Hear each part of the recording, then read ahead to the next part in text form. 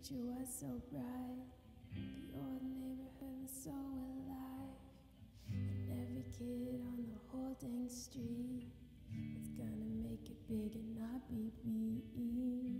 Now the neighborhood's cracked and torn. Uh oh, the kids are grown up, but their lives are worn.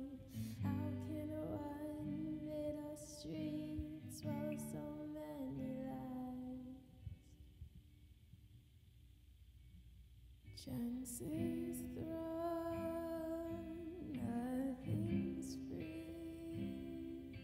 Longing for what used to be. Still, it's hard, hard to see. Fragile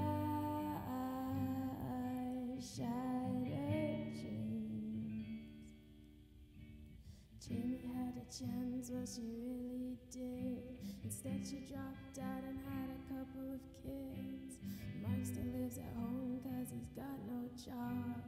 He just plays guitar and smokes a lot of pot. Jacob